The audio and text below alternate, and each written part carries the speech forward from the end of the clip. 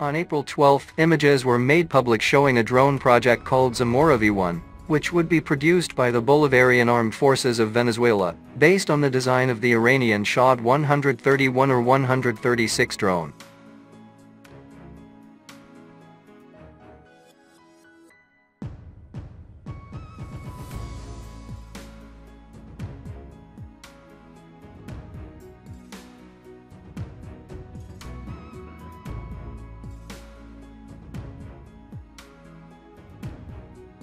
A 1.5 meter long model was observed which stands out for its resemblance to the Iranian attack system, along with an information sheet detailing the stipulated characteristics for the design. The Shahed system has already seen its fire baptism, being supplied by the Islamic Republic of Iran, to the inventories of the Russian ground forces and put to use on the battlefields of Ukraine. The Shahed 136 version has been the most utilized, and Iran continues to develop the system based on data obtained from the front lines. In September 2023, Iran presented a new drone model, the Shahed 238. This model is mainly characterized by the integration of a turbojet propulsion system that makes it faster and quieter, although at the cost of reducing its explosive payload due to the need to add a larger fuel load.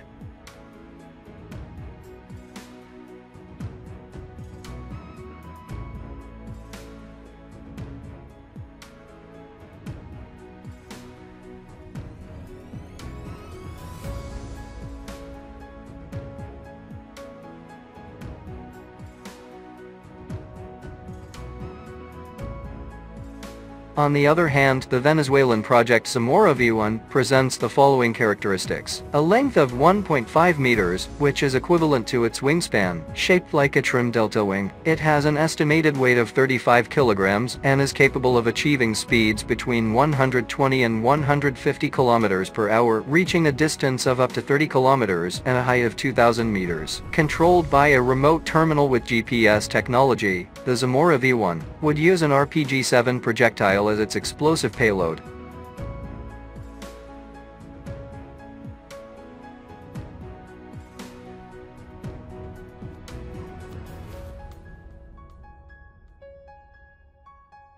In general terms, this version has much lower specifications than the Shahed 136 model it seeks to copy, as evidenced by the explosive payload capacity estimated at 50 kilograms for the Shahed, which exceeds the total weight of the Venezuelan drone. However, this makes the Zamora V1 an even cheaper and simpler alternative to produce, something not insignificant to consider given Venezuela's low capabilities in armament production.